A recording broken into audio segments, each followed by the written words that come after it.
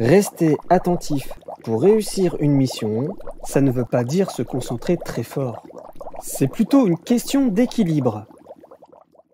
Un peu comme si tes missions étaient des poutres que tu dois traverser sans tomber.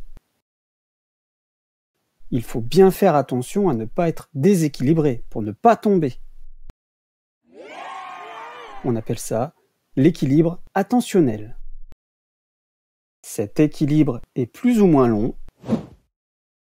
Cet équilibre est plus ou moins difficile. Cet équilibre est plus ou moins important. Continuons maintenant avec maîtresse Juliette. Voyons si tu as compris ce que petit Jérôme vient de t'expliquer. À toi de jouer. Choisis la bonne poutre en fonction de la mission que tu dois réussir. Je vais te proposer six missions différentes. Mission numéro 1. Si tu enfiles une perle dans un fil, la poutre sera courte ou longue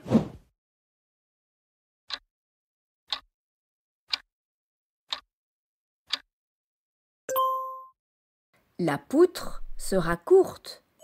Ce n'est pas long d'enfiler une perle dans un fil. Mission numéro 2.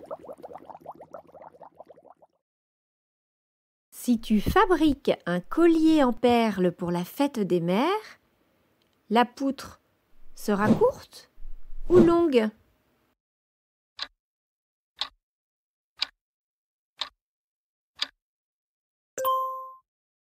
La poutre sera longue.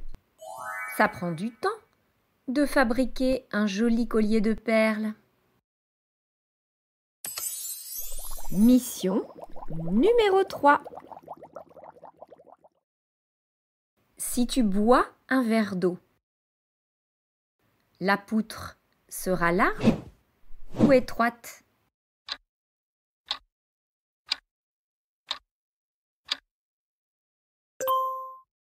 Elle sera large. Tu as l'habitude de boire un verre d'eau. Tu en bois tous les jours. Mission numéro 4. Si tu attrapes des petits pois avec des baguettes, la poutre sera large ou étroite?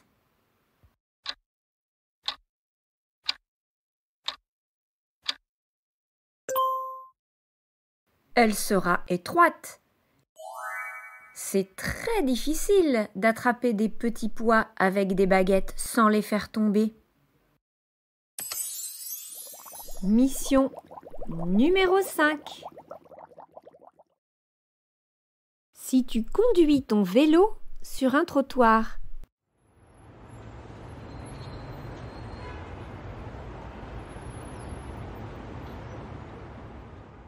La poutre sera basse ou haute?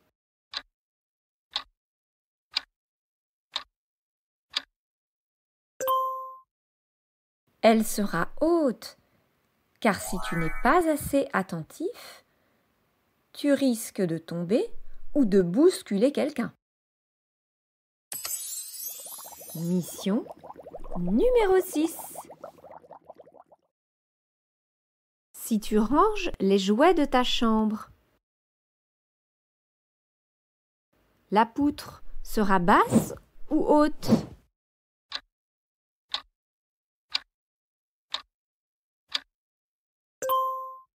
Elle sera basse. Si tu n'es pas assez attentif, ce n'est pas grave.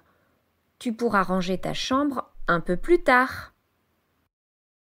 Voilà, il ne te reste plus qu'à te demander sur quelle poutre tu es quand tu démarres une mission et tu deviendras un champion de l'équilibre attentionnel. Plus d'informations dans le dispositif Atoll de Jean-Philippe Lachaud.